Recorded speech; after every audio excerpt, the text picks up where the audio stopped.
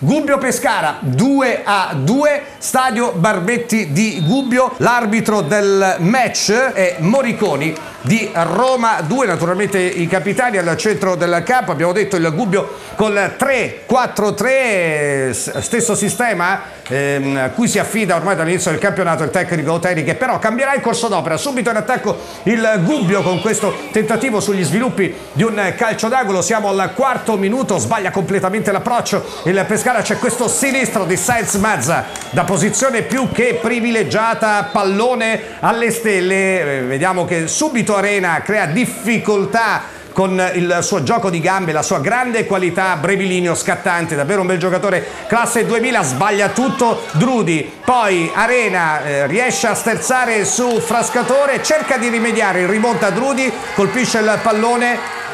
c'è l'autogol eh, con il Gubbio che dunque sblocca la situazione al minuto 7 nel corso di questa eh, prima eh, frazione di gioco. Gubbio in vantaggio autogol di Mirko Drudi che ha sbagliato molto pigro nell'effettuare il passaggio ritroso per il suo compagno di squadra Arena velocissimo la sterzata sul frascatore il pallone sul destro la rimonta di Drudi che tocca il pallone con il sinistro in scivolata la sfera si infila all'angolino basso alla destra del portiere Luca Anania. Dunque Gubbio in vantaggio, senza dubbio migliore l'approccio degli Ogubini, una squadra che gioca sull'aggressività, sulla pressione. Qui sbaglia ancora Drudi ed è costretto ad un'uscita davvero provvidenziale Raffaele Di Gennaro che evita il 2-0 e quindi lo 0-2. Attenzione ora a Sainz Mazza, forse un fallo commesso ai danni di Rizzo, il pallone per Arena, il solito Arena, maglia numero 30, classe 2000, il suo sinistro sorvola la traversa della porta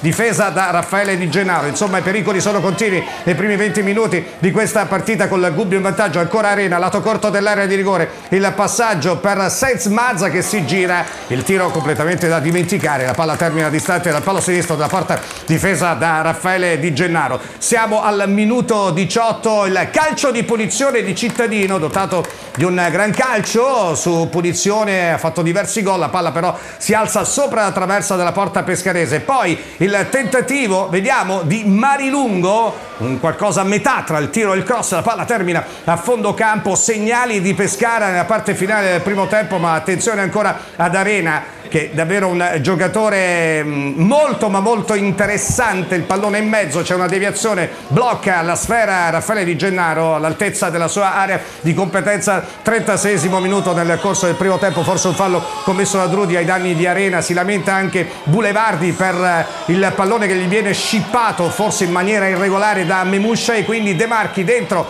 eh, per Marilungo, la palla passa, segue tutta l'azione Clemenza a questo merito, il gol del pareggio, 36 minuto minuto nel corso del primo tempo, posizione regolarissima di Clemenza, bravo De Marchi, grandi proteste veementi da parte della panchina del Gubbio. All'indirizzo del quarto uomo, forse c'era uno dei due falli, probabilmente quello di Drudi su Arena, comunque insomma non ci si può lamentare eh, degli arbitri, forse aveva ragione in questa circostanza la panchina del Gubbio, segnatamente il tecnico Vincenzo Torrente, rivediamo l'azione, bravissimo De Marchi, la verticalizzazione per Marilungo, la palla passa, forse deviata dal portiere Ghidotti che è un ottimo eh, difensore, scuola fiorentina classe 2000 e poi Clemenza che ha il merito di seguire tutta l'azione, segna a porta vuota il secondo gol con la maglia del Delfino, attenzione al 39 minuto. C'è questo intervento risolutivo di Janes su Arena insomma in contropiede il Gubbio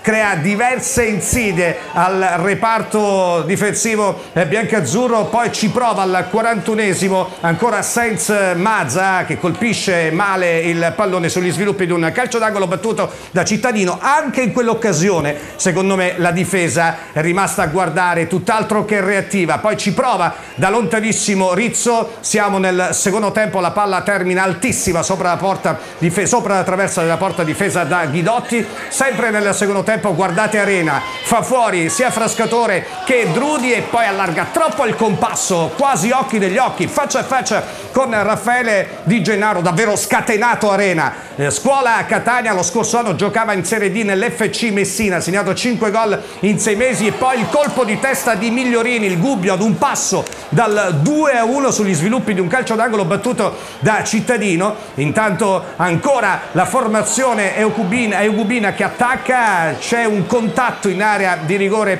pescarese, vediamo che cosa succede con eh, Sainz Mazza che in realtà commette fallo ai danni del difensore biancazzurro. Ancora Arena entra in area, non aspetta altro che il contatto che c'è in Genoa, ancora una volta Memushai. Era già successo nella precedente partita casalinga eh, con la Vis Pesaro, davvero ingenuo, insomma eh, avrebbe potuto fare molto meglio, avrebbe potuto fermarsi e attendere Memusha, invece calcio di rigore che sembra esserci, il calcio di rigore che viene trasformato con grande freddezza e precisione da cittadino. Lo scorso anno nel Bisceglie 7 gol pensate di cui 6 su calcio di rigore, un cecchino infallibile, classe 1994, il secondo gol con la maglia del Gubbio in questa stagione, rivediamo l'esecuzione perfetta. Il Gubbio dunque si riporta in vantaggio, siamo naturalmente nel secondo tempo, al settantesimo cambierà sistema di gioco Gaetano Oteri con l'ingresso in campo di Diambo, difesa a 4, tre centrocampisti fuori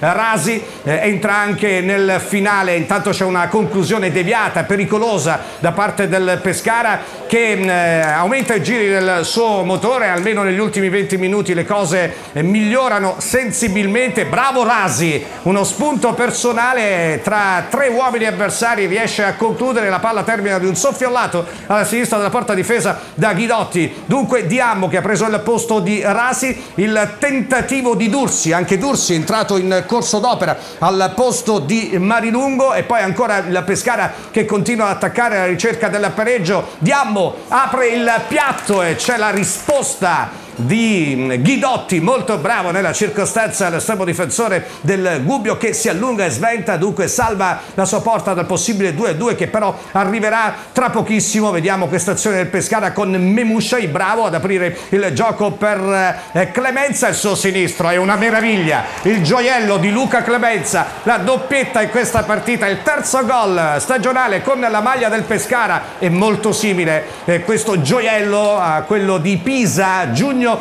2020 nell'unico gol segnato con la maglia del Pescara in Serie B nella stagione 2019-2020 è un trequartista puro, non ci sono dubbi e poi che piede, un piede particolarmente educato, una parabola che scavalca il portiere Ghidotti, 2 a 2, vediamo che cosa succede nella parte finale del match, c'è un cross, non ci arriva Dudu Magni che è entrato in corso d'opera al posto di Arena, grande protagonista di questa partita, finisce 2 a 2, il Pescara ancora imbattuto, Pescara che però deve ancora lavorare sui tanti errori